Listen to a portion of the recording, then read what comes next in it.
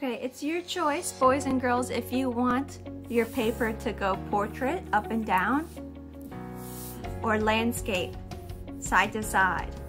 I am going to make mine portrait up and down and we are gonna get started on our duck architecture projects.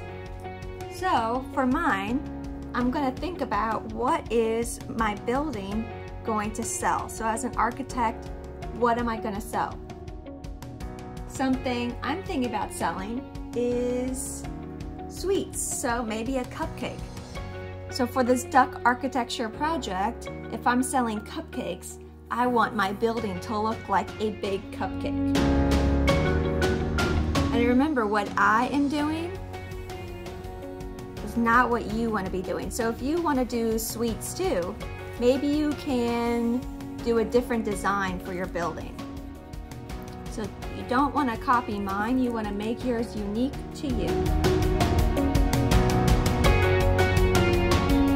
Now I'm going to add in the texture and then I'm gonna add in the top, so the frosting. Remember, you wanna do this with a pencil, that way if you make any mistakes, it's not a big deal. So I'm actually gonna make this a little curvier. Okay, perfect. I'm going to do another one, and then one more. So that is my frosting. On the top, I am going to add in a cherry. So a cherry on the top. So this is my cherry. You'll be able to see it better once I outline it with a black marker. I'm going to add a sign so that you know the name of my building. I'm gonna call it Mrs. Webb's Sweets. And everyone needs a sign for their buildings. Okay, now I'm going to add in a door and window so that you can actually get inside.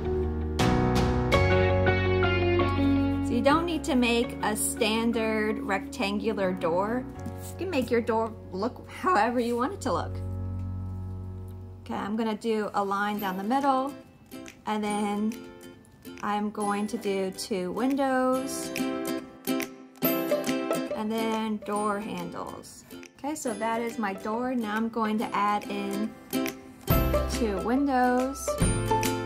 And then now I'm going to add in some sprinkles and some windows up here too, just to make it look a little bit more interesting. Then some sprinkles going in different directions. Now, you can't forget about the ground. So I'm gonna add in a wavy ground line, some grass, and of course a path to get to my building. So this is the path. Okay, and now I'm going to add in a fence. You can add in a fence or a parking lot. You wanna think about how your customers get there. So are your customers driving there? Are they riding the bike there? Are they walking there? For me, I'm gonna make my cupcake shop close to a park. So there's gonna be a fence right here. And then now I'm going to add in trees. I'm gonna make my trees overlap with one another. So this is one tree, and this is gonna be the second one. So two trees, a cupcake building, the sky will be back here. Maybe you can even add in a sun and some clouds. And so for my duck architecture project, we have the sun and some clouds. I have my building, I have my sign, a door, windows, details to show that it's a cupcake. I have a fence, I have some trees in the background to show the location. I have a path that goes to my building. And that's it, boys and girls. Once you are done drawing your duck architecture project, you want to outline it with a black marker and then erase your pencil lines before you color it in.